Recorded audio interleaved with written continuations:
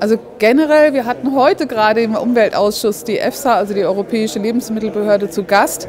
Ich hatte schon den Eindruck, dass sie sehr genau hinschauen, was kommt an neuen Lebensmitteln auf dem Markt, was ist da drin, wie wird sich das auf die Gesundheit auswirken. Aber natürlich, der Mensch ist ein sehr komplexes System und manche Dinge kriegt man eben erst hinterher raus.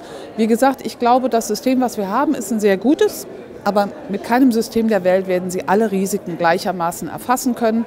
Ich glaube aber nicht, dass per se ein Laborfleisch oder ein Kunstfleisch gefährlicher oder gesundheitsschädlicher ist als jetzt ein Fleisch aus der Massentierhaltung, wo Sie Antibiotika-Rückstände drin haben, wo Sie vielleicht Pestizidrückstände drin haben aus dem Futter.